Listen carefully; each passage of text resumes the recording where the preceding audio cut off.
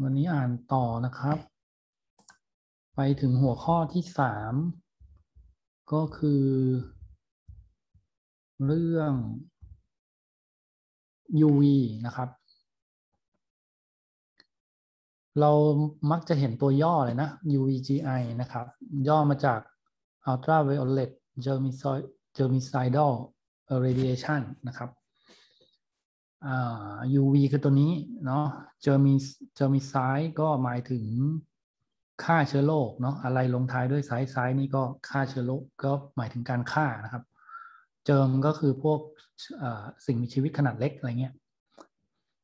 ก็ใช้ UV ในการใช้รังสี UV ในการฆ่าเชื้อโรคนะครับ อันนี้ก็เป็นวิธีในการ treat ในการบำบัดอากาศ หรือว่าพื้นผิว เพื่อ inactivate เพื่อทำให้สิ่งมีชีวิตขนาดเล็กมัน มันหยุด หยุดทำงานอะนะก็ก็คือฆ่าเชื้อนั่นแหละนะครับ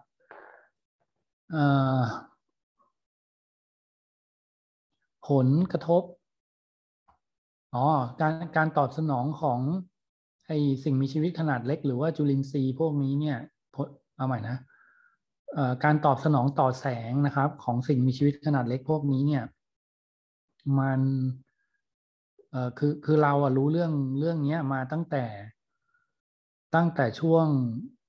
ตั้งแต่ปีหนึ่งแปดสี่ห้าแล้วนะครับร้อยกว่าปีแล้วนะเกือบร้อยห้าสิบปีแล้วมั้งแต่ว่า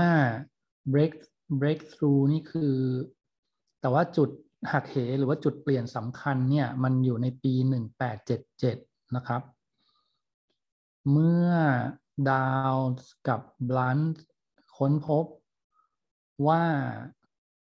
แสงอาทิตย์นะครับ สามารถป้องกันการเจริญเติบโตของพวกจุลินทรีย์หรือว่าสิ่งมีชีวิตขนาดเล็กได้นะครับ ปี 1935 นะครับ เวลส์กับแฟร์ก็แสดงให้เห็นถึงความสามารถของ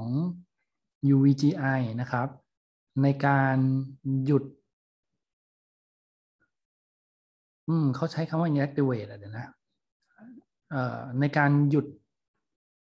การเจริญเติบโต หรือหยุดหยุด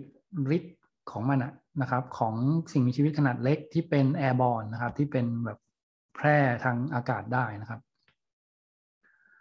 ก็ ได้ได้อย่างได้อย่างดีด้วยนะครับ efficiently ด้วยนะครับ ก็คือได้อย่างดีด้วย ก็แปลว่า UVGI เนี่ยมีใช้มาเกือบร้อยปีแล้วนะ ตั้งแต่ปี 1935 นะครับ ultraviolet spectrum นะมันก็มีหลายย่านนะครับ UV มีหลายย่าน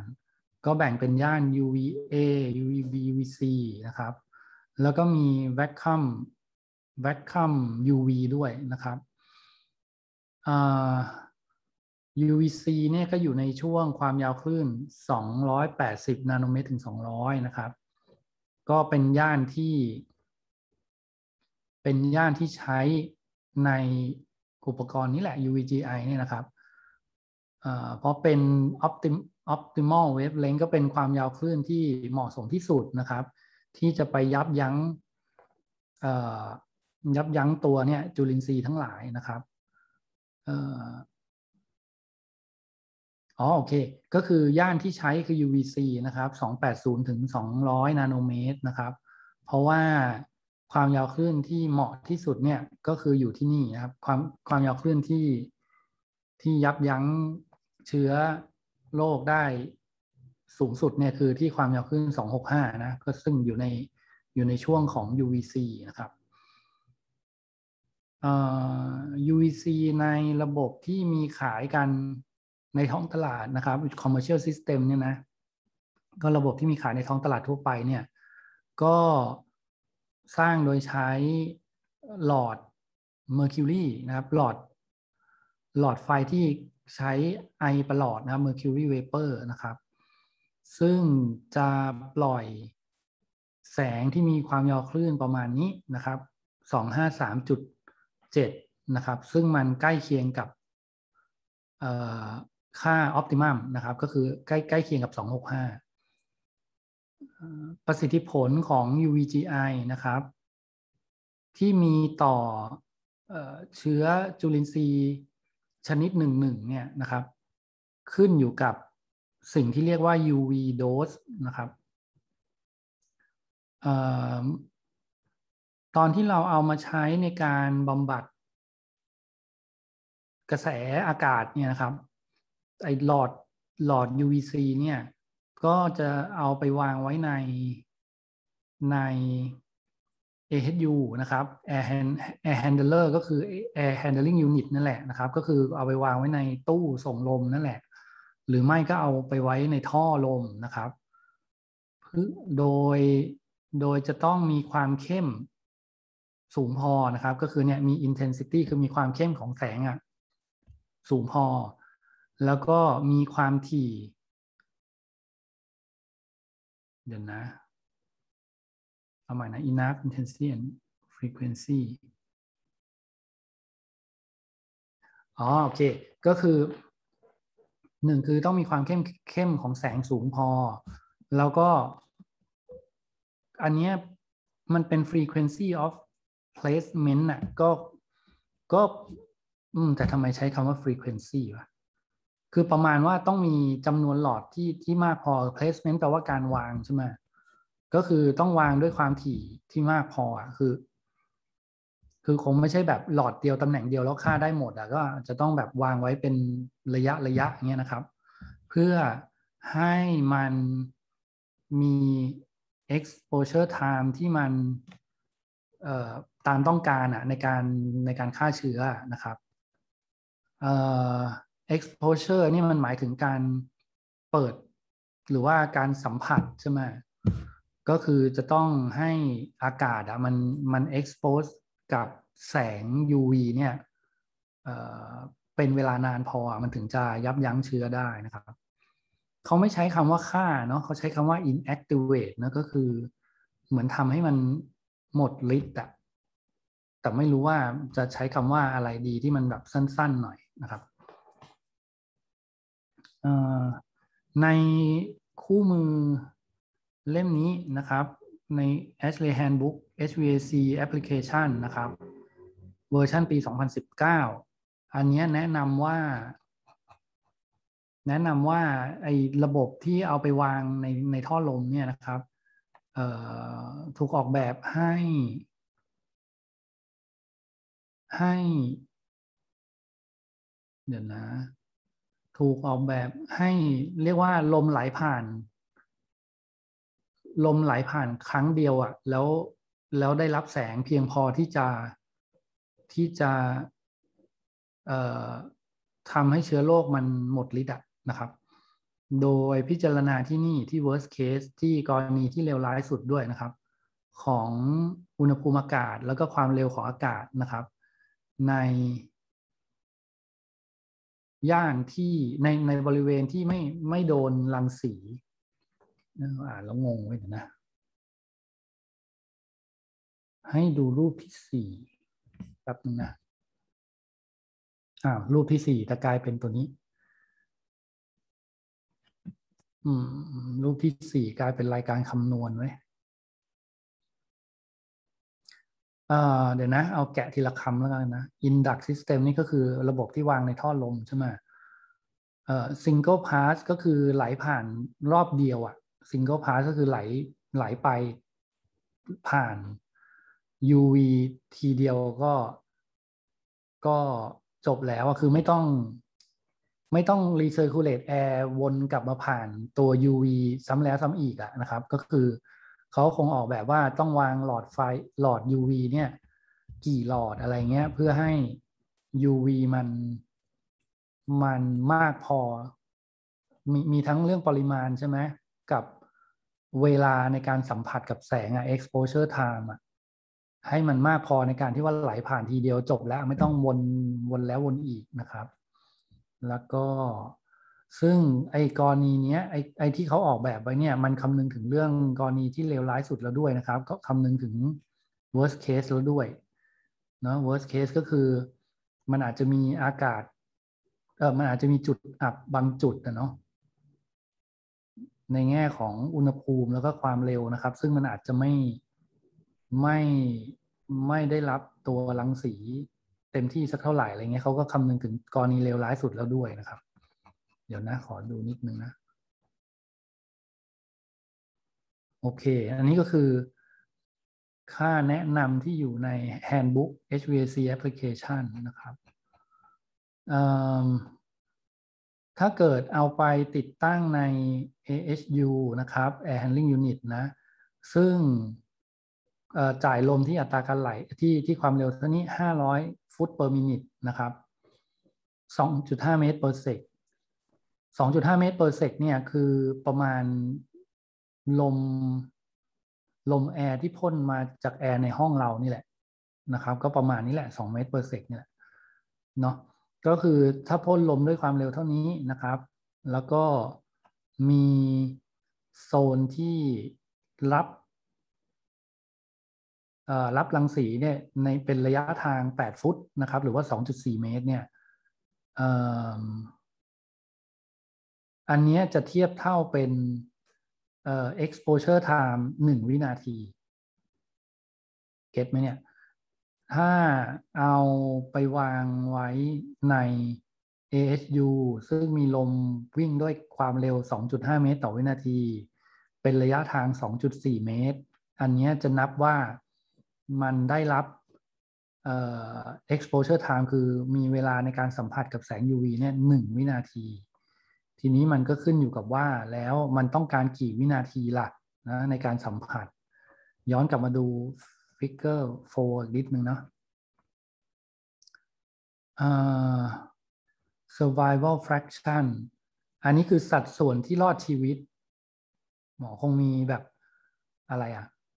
ไอเชื้อโรควิ่งผ่านแสง UV แต่ว่าไม่ไม่เป็นลายพวกห้อยพระดีอะไรแบบนี้นะ ก็สามารถรอดไปได้ไม่ถูก inactivate ก็คำนวณตามสมการนี้ ถามว่าสมการนี้ขึ้นอยู่กับตัวแปรอะไรบ้าง ก็จะมีตัว K เออมีตัว D นะครับ ตัว D ตัวนี้คือ UV dose UV dose เกิดจากเอา I คูณกับ T เดี๋ยวต้องไปดูว่า I กับ T คืออะไรอีกอ๋อ นี่มัน e ยกกำลัง kd เลยนี่หว่าใช่ไหม e ยกกำลัง k e ยกกำลังลบ k คูณกับ d ไอ uv นี่เป็นตัวห้อยเนาะ ก็คือ k คูณกับ d อะ d คือ uv dose นะครับคำนวณมาจาก i คูณ t อีกทีหนึ่งส่วน k นี่เป็นค่าคงที่ เป็นค่าคงที่ที่เรียกว่า pathogen dependent inactivation rate ถ้าแปลตามชื่อมันเนี่ยก็คือเป็นค่าคงที่นะ แต่ว่าเป็นค่าคงที่ที่ขึ้นอยู่กับชนิดของเชื้อโรค pathogen dependent น่ะ dependent มันคือขึ้นอยู่กับใช่ไหม pathogen นี่คือเชื้อโรคก็แปลว่าแปลว่าค่า k เนี่ยเดานะเดาว่ามันน่าจะขึ้นอยู่กับเชื้อโรคแต่ละชนิดว่ามันเป็นไวรัสเป็นแบคทีเรียเป็นอะไรเนี่ยในตัวไหนอะไรเงี้ยนะครับ มันก็คงจะมีค่า k ที่ต้องการอะไม่ไม่เท่ากันนะครับไปดูค่า i กับ t i คือ radiance ก็คือรังสีอะเนาะก็มีค่าเป็นไมโครวัตต์ต่อตารางเซนติเมตร t คือ exposure time นะครับ เพราะฉะนั้นถ้าเกิดเราเอา i กับ t คูณกันน่ะ ไอไมโครวัตต์เนี่ย วัตต์มันคือจูลต่อวินาทีใช่ไหมเพราะฉะนั้น อืม วินาทีก็จะตัดกับวินาทีนี้มันก็จะเหลือแค่เป็นไมโครจูลต่อตารางเซนนะครับ ใช่ไหมเสร็จแล้วไมโครจูลต่อตารางเซน พอมันไปคูณกับ k อะหน่วยมันไขว้กันพอดี มันก็จะกลายเป็นไม่มีหน่วยใช่ไหม e ยกกำลังเลขไม่มีหน่วยก็ได้เป็น s ก็ไม่มีหน่วยเหมือนกันก็ออกมาเป็นเลขแบบเป็นทศนิยมนั่นแหละมั้งก็คือถ้า s เป็นอัตราส่วนที่รอด เพราะฉะนั้นส่วนที่ไม่รอดก็คือหนึ่งลบ s โอเคไหมเออ น่าจะเป็นอย่างนั้น ก็คืออันนี้ก็เลยเขียนว่าเป็น single pass inactivation rate ก็คือ อัตราที่เราระงับการออกฤทธิ์ของมันได้นะครับ ก็คือ1ลบด้วยส่วนที่เล็ดรอดไปได้เนาะตรงนี้เหมือนเราเคยพอดกราฟไปทีแล้วใช่ไหม e ยกกำลังติดลบเนี่ยมันเหมือนกับ เหมือนกับเป็นกราฟแบบขึ้นแล้วก็อิ่มตัวอย่างนี้มั้งใช่ไหมเพราะฉะนั้นถ้าเกิด exposure time นานๆ แบบไปทางขวาเงี้ยก็แปลว่า1ลบ s ก็จะยิ่งน้อย อ๋อถ้าติดลบรู้สึกมันจะลงแล้วก็นิ่งไปอย่างนี้มั้งใช่ไหมเพราะฉะนั้นยิ่งไปไกลๆอะยิ่งไปไกลหนึ่งลบ s ก็ยิ่งสูง โอเคอันนี้ที่ผมเสียเวลาคิดนู่นนี่นั่นให้ฟังคือ คือตอนผมอ่านหนังสือประมาณแบบนี้จริง ๆ นะ เพราะว่า เพราะว่าถ้าเราอ่านแค่ผ่านๆไปมันก็ไม่มันก็ไม่ได้ เรียกว่าไม่ได้ไม่ได้มุมมองอะนะครับ โอเค ทีนี้เรามาค้างอยู่ตรงนี้ใช่ไหมว่าความเร็วเท่านี้ระยะทางในการสัมผัสแสงเท่านี้ เทียบเท่าแล้วเป็นหนึ่งวินาทีของการ expose เพราะฉะนั้นเดี๋ยวก็ต้องไปดูว่าเชื้อโรคชนิดต่างๆ ต้องการ exposure time เท่าไหร่นะครับ ใน handbook เล่ม2019นี่นะไอตัว HVAC application เนี่ย ก็ยังแนะนำไปอีกว่าการติดไอตำแหน่งในการติดตั้งนี่เนาะอืม เดี๋ยวนะ This system installed in the location เขาบอกว่าให้ไปติดตั้งในตำแหน่งที่ที่ทำให้เนี่ยทำให้ให้ exposure time มันเท่ากับจุดสองห้าวิ เพื่อที่จะลดลดค่าระบบนะครับ แล้วก็ลดการใช้พลังงาน นะครับ ให้ให้น้อยที่สุดนะ minimize นะครับเดี๋ยวนะ ก็คือประมาณสองฟุตนะครับ หรือว่าหกหกสิบเอ็ดเซนนะครับหกร้อยสิบมิลลิเมตรหกสิบเอ็ดเซนตามตัวอย่างที่พูดถึงข้างบน เหรอ เดี๋ยวนะ อ๋อ โอเค ก็คือหนึ่งในสี่ของอันนี้แหละนะครับ ก็คือ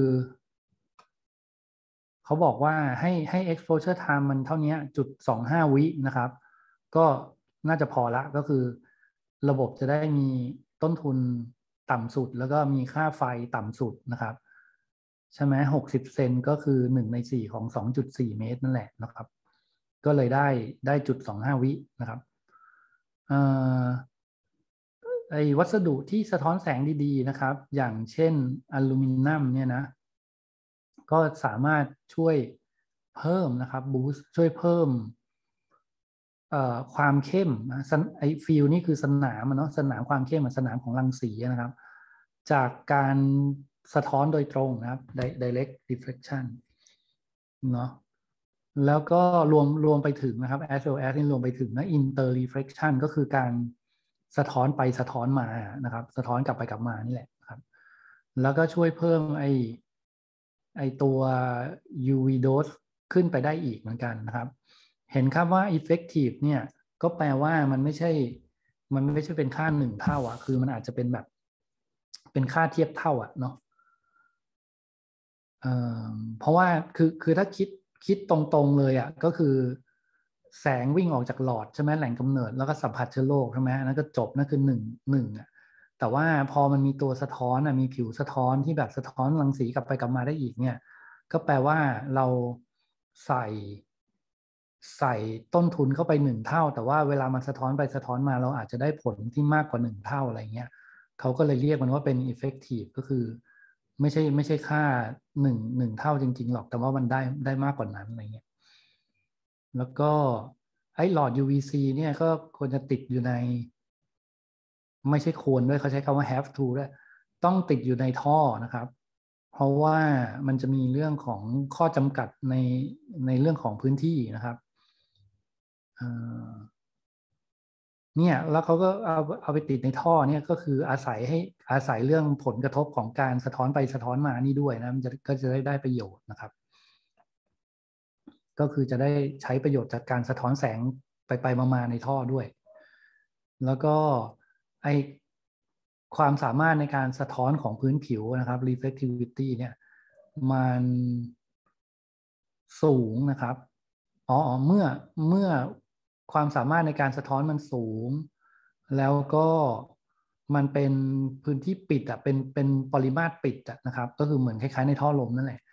ไอการสะท้อนเนี่ยก็สามารถเนี่ยสะท้อนไปสะท้อนมาระหว่างพื้นผิวเนี่ยแล้วก็ช่วยทำให้ไอสนามของรังสีเนี่ยมันมันมันมันเพิ่มมากขึ้นอะอย่างมีนัยสำคัญด้วยนะครับ โอเคจบแล้ว ดูสรุปหนึ่งย่อหน้าจบแล้วนะครับในอันนี้เขาก็พูดถึงว่าอันนี้เป็นบทความตอนที่สามอันนี้นะ ก็ เขาไปดูวิธีการในการลดเชื้อโรคอะแบบที่เราใช้กันทั่ว ๆ ไปนะครับ หลายมาตรการนะครับการที่เรามีการหมุนเวียนอากาศที่ไม่เหมาะสมเนี่ยแหลกนี่แปลว่าขาดใช่ไหมการที่เราไม่มีการหมุนเวียนอากาศไหลเวียนอากาศที่เหมาะสมเนี่ย ก็ แสดงให้เห็นว่ามันก็จะเพิ่มโอกาสในการติดเชื้อนะครับ แล้วก็การเพิ่มอัตราการระบายอากาศ หรือการหมุนเวียนอากาศให้สูงกว่าค่าต่ำสุดเนี่ยที่ระบุโดยโดยตัวมาตรฐานหรือว่าโดยตัวกฎเกณฑ์หรือโค้ดพวกนี้นะครับ ก็จะช่วยให้ลดเนี่ยครับลดความเข้มข้นของของอนุภาคเนาะในพื้นที่นะครับ อย่างไรก็ตามนะครับ มันก็จะมีข้อจำกัดอยู่เหมือนกันว่าเออเพิ่มขึ้นไปถึงจุดจุดหนึ่งเนี่ยมันก็อาจจะไม่ได้ช่วยลดความเสี่ยงในการติดเชื้อสักเท่าไหร่ละนะก็คือเหมือนกับเพิ่มขึ้นไปแล้วก็มีจุดอิ่มตัวนะครับระยะทางจากแหล่งกำเนิดไอเชื้อโรคเนี่ยนะครับ ทิศทางของการไอนะครับ แล้วก็อัตราการสร้างตัวเชื้อโรคในปริตัวสร้างตัวควอนต้าหรือว่าปริมาณเชื้อโรคที่มันสูงพอที่จะเกิดการติดเชื้อได้เนี่ย อันนี้มันมีผลต่อการเออเดี๋ยวนะ มันจะช่วยลดผลของการ ระบายอากาศที่มีต่อโอกาสในการติดเชื้อเฮ้ยมันเขียนแล้วงงอะ แต่ว่าเราเราพอจับประเด็นได้จากที่เราอ่านมาเลยเนาะคือ ท่อนแรก ๆ เนี่ยเขาก็จะพูดว่าเพิ่มอัตราการระบายอากาศเนี่ยโอเคเลยก็คือช่วยลดช่วยลดความเสี่ยงในการติดเชื้อ แต่ว่ามันก็จะมีจุดอิ่มตัวอยู่จุดหนึ่งอะแล้วพอเลยจุดนั้นไปเนี่ย มันก็จะไม่ค่อยมีผลเท่าไหร่ละ เราต้องไปเล่นตัวอื่นแทนอะก็คือ เรียกว่าไอ้เรื่องที่อะไรนะวางตำแหน่งหัวลมจ่ายกับช่องลมกลับแบบไอ้ paper ที่แล้วอะอันนั้นมีผลเยอะนะครับ แล้วก็จะมีปัจจัยอื่นอีกเนาะเช่นเนี่ยระยะทางจากแหล่งกำเนิดเชื้อโรคเขาไอไปที่ทิศทางไหน แล้วเชื้อโรคที่มันถูกปล่อยออกมานี่มันมากน้อยแค่ไหนนะมีผลหมดนะครับ แล้วก็มาถึงเรื่องการกรองกับการใช้ UV นะอันนี้ก็จะเป็นอีก 2 วิธีที่เขาใช้กันโดยทั่วไปนะครับ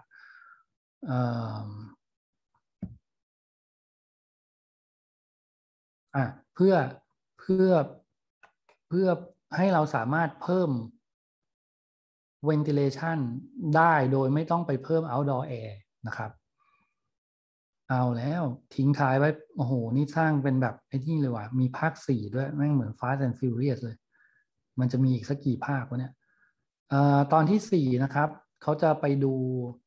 emerging technology ก็คือดูเทคโนโลยีใหม่ๆนะที่เพิ่งเกิดขึ้นนะครับ แล้วก็ดูวิธีอื่นๆนะครับสำหรับการลดการลดลดการแพร่เชื้อของไวรัสนะครับเอาแล้วแปลว่าเดี๋ยวต้องไปหาพาร์ทสี่มาอ่านต่อโอเค เพราะว่าเปเปอร์นี้จบเรียบร้อยนะครับ